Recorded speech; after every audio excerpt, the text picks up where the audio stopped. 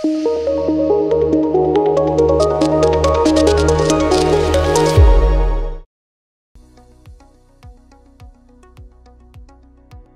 Everyone నేను doctor Mounika consultant fertility expert forty nine hospital LB Nagar Hyderabad.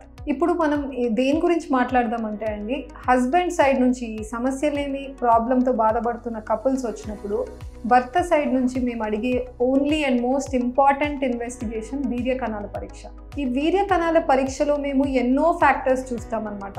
అంటే volume ఎంత ఉంది next వచ్చేసి కణాల నంబర్స్ ఎలా ఉన్నాయి నా కణాలలో ఎన్ని కదులుతూ ఉన్నాయి? ముందుకు కదిలే కణాల శాతం ఎంత? సో ఇట్లా ఎన్నో పారామీటర్స్ అన్నవి చూస్తూ ఉంటాం.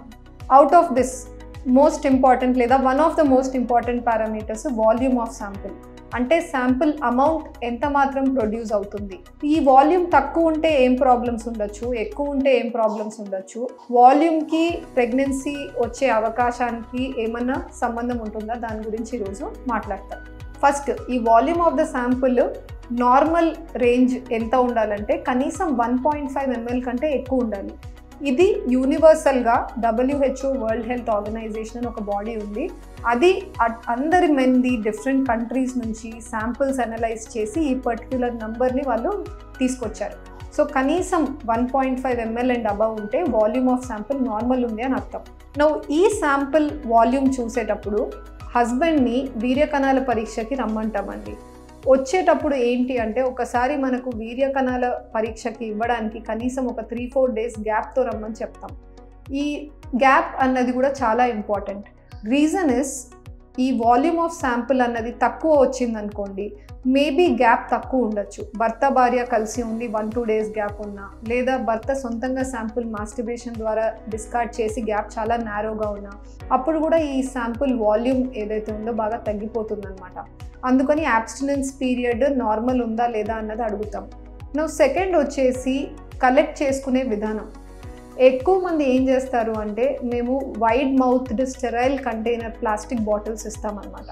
డైరెక్ట్గా హస్బెండ్ పెనిస్ ద్వారా ఇజాక్యులేట్ చేసిన శాంపుల్ ఆ కంటైనర్లో కలెక్ట్ చేసుకోవాల్సి ఉంటుంది. బట్ ఫ్యూ మెన్కి డిఫికల్టీ ఉంటుంది. వాళ్ళు ఏం చేస్తారంటే భర్త భార్య కలిసి ఆ కాయిటస్ లేదా ఇంటర్ కోర్స్ సమయంలో వెజైనా నుంచి ఇమీడియట్గా విత్డ్రా చేసి పెనిస్ని అలా కూడా శాంపుల్ ప్రొవైడ్ చేస్తారనమాట దీన్ని కాయిటస్ ఇంటరప్టస్ అంటారు. ఇలా చేసినప్పుడు ఏమవుతుందంటే కొంచెం initial part of sample lady వెజైనాలో మిగిలిపోతుంది. అందుకని ఓవరాల్ వాల్యూమ్ ఆఫ్ శాంపుల్ మనకు ఫైనల్ ఏదైతే ఉందో అది ఉన్నదానికంటే తక్కువ రావచ్చు.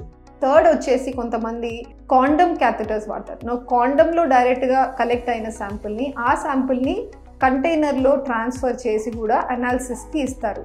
సో ఇలా చేసినప్పుడు కూడా ఏమవుతుందంటే సర్టన్ అమౌంట్ ఆఫ్ శాంపుల్ ఆ కాండంలో మిగిలిపోయి ఫైనల్ ఇవాల్యుయేషన్లో వాల్యూమ్ తక్కువ రావచ్చు.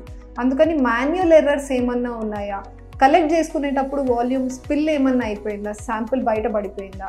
ఇవన్నీ మాన్యువల్ ఎర్రర్స్ ఎన్ని డేస్ గ్యాప్ ఇవన్నీ ఫస్ట్ మేము చూస్తామన్నమాట ఫిజియోలాజికల్ కేసెస్ ఇవన్నీ రూల్ అవుట్ అయ్యి అంతా బాగుండి కూడా శాంపుల్ వాల్యూమ్ బాగా తక్కువ వచ్చింది అంటే అప్పుడు మేము వేరే రీజన్స్ అయి ఉండొచ్చు. అవి ఏంటి అన్నది we go into detail no pathological reasons organic causes ఎందుకు తక్కువ రావచ్చు వాల్యూమ్ ఆఫ్ శాంపుల్? మెన్లో బీజాలు రెండు వైపులా ఉంటాయని టూ టెస్టిస్ ఉంటాయి. సో ఈ రెండు టెస్టిస్ నుంచి కణాలు ఉత్పత్తి అయ్యి బయటకు వచ్చే దారులు ఏవైతే ఉన్నాయో ఆ డక్ట్స్ ఉంటాయి కదా అలాంగ్ ద డక్ట్స్ ఎన్నో గ్లాండ్స్ ఉన్నాయన్నమాట. స్పర్మ్స్కి ఈ లిక్విడ్ పార్ట్ సిమెన్ పార్ట్ అనేది కాంట్రిబ్యూట్ చేస్తూ ఉంటాయి ఈ గ్లాండ్స్ అని ఏమన్నా గ్లాండ్లో ప్రాబ్లం ఉన్నా లేదా డక్ట్స్ ఎక్కడన్నా బ్లాక్ అయిన ఇన్ఫెక్షన్ వల్ల ఆ లిక్విడ్ పార్ట్ రాకపోవడం వల్ల కూడా ఫైనల్ వాల్యూమ్ ఆఫ్ శాంపుల్ తగ్గచ్చు. ఈ బ్లాకేడ్ ఆఫ్ డక్ట్స్ లేదా డక్ట్స్ పుట్టుకతోనే లేకపోవడము ఇవన్నీ కొన్ని కండిషన్స్ ఉంటాయి. సో కంజనైటల్ బై బర్త్ ఏమన్నా ప్రాబ్లం ఉందా? ఇవి రూల్ అవుట్ చేసుకోగలిగితే ఇవి ఎలా తెలుసుకుంటాము అంటే స్కాన్స్ చేయొచ్చండి. స్కాన్స్లో కొద్ది వరకు మనకు ఐడియా అనేది రావచ్చు. లేదా ఒక డై పంపిస్తామన్నమాట. కలర్డ్ డై పంపించి కూడా మేము స్కాన్స్ తీసుకుంటాము.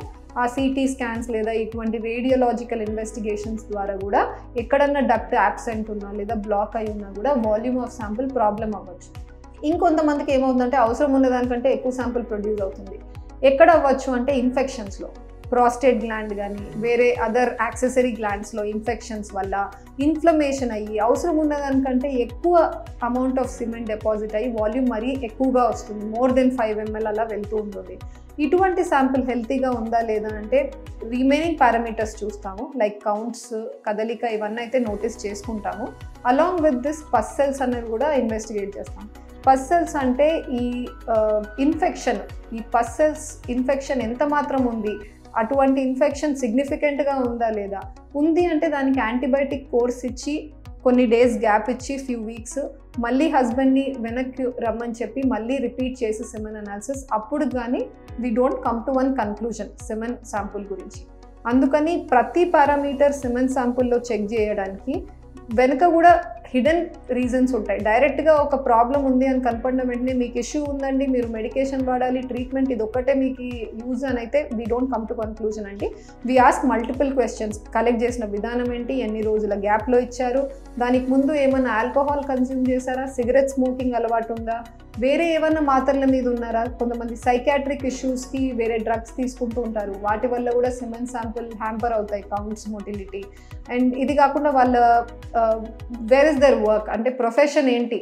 ఇప్పుడు బస్ డ్రైవర్స్ క్యాబ్ డ్రైవర్స్ రోజంతా వెహికల్లో ఉన్నప్పుడు ఆ హాట్ ఎన్వైర్న్మెంట్లో ఉన్నప్పుడు కూడా ఆ కణాలు బాగా దెబ్బతింటాయి.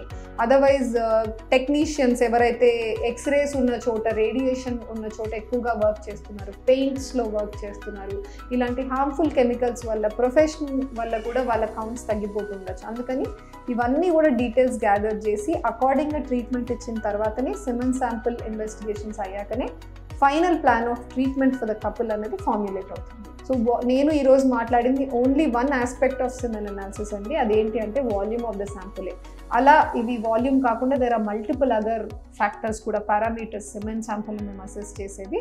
But maybe about this we can discuss in a different segment thank you